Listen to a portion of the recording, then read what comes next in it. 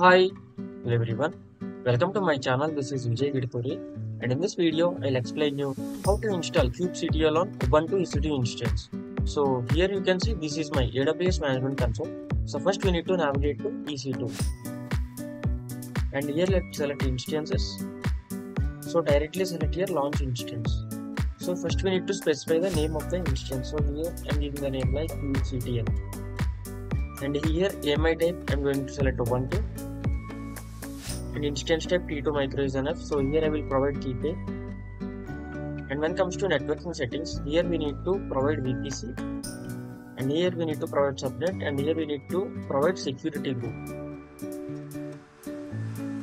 So here I'm going with 8 GB default. So here I'm going to select directly launch instance.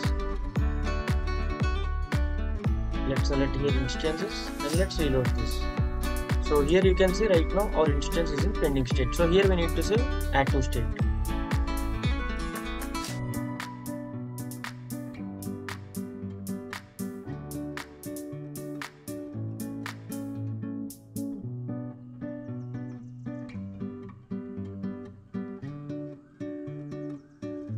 so here you can see our instance is in running state so let's connect to this instance directly copy public IPv4 address and here I'm using mobile MobaXterm here you can use mobile MobaXterm putty or it may be anything.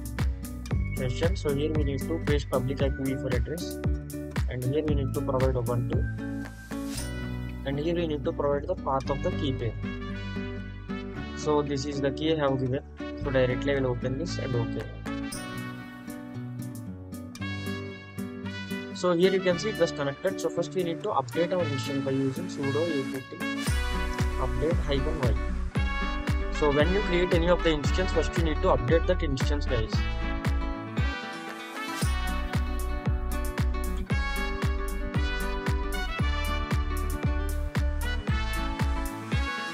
So let's come to root user for hitting sudo hyphen so here you can see right now we are in uh, root user. So here you can see root. So let's install kubectl on this ubuntu ec2 instance. So let's come to official documentations so i will open a new tab. And here i will search for install kubectl on ubuntu. So here i will open this first link.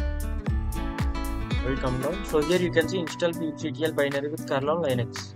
So here you need to copy this uh, command. So first let's copy this command. And let's come to MobaXterm and let's paste it in here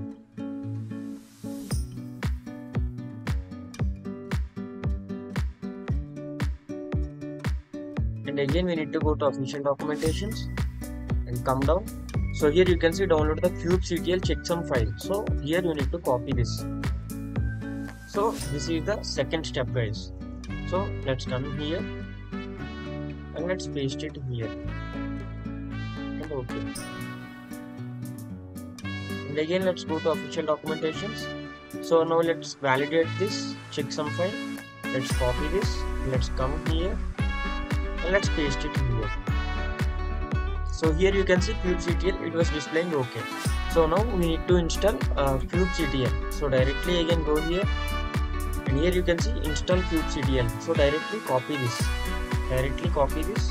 And come here and paste it here. So now kubectl version hyphen hyphen client so here you can see kubectl installation has been completed. So this is how you can install kubectl on ubuntu ec2 instance guys. So here you can see kubectl version hyphen hyphen client. You can display kubectl version or else uh, you can directly copy this. It will display in yaml format. I'll copy this and i will paste it here. So here you can see this is how it will display and yes in this video i explain you how to install kubectl on ubuntu ec2 instance. And in next video i'll explain you how to create eks cluster and connect to that cluster manually. And yes guys that's it for today's video. And if you like my video please do like share and subscribe to my youtube channel guys. And see you in the next video and bye